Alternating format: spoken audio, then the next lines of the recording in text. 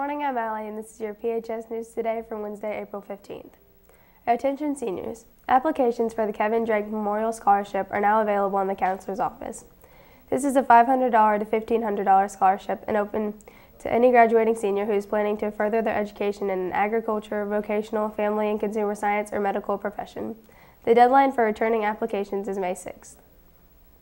Any junior high and high school students interested in trying out for cheerleading should sign up at the guidance office and pick up an information sheet. An elementary school class is collecting bottle caps to be melted down and used to make a bench. If you would like to donate any plastic bottle caps, there is a collection box in the office. Check out the cafeteria is serving up today.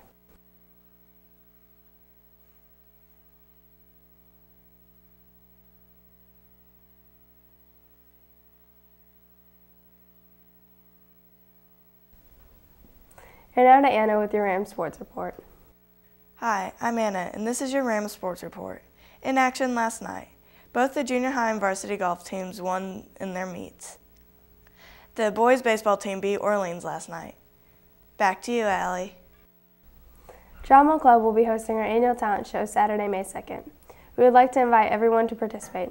Acts may include talents such as singing, dancing, playing an instrument, performing monologues or skits, or a variety of other things. A rehearsal on May 1st after school is required so that we can figure out tech needs.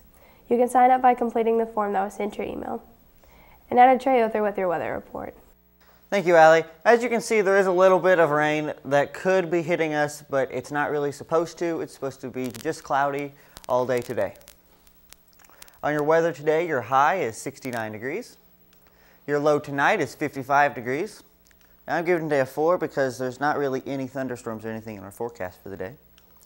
On your weather this week, Thursday, we've got a high of 72 with a low of 56. And Friday, we've got a high of 77 with a low of 56. Back to you, Allie.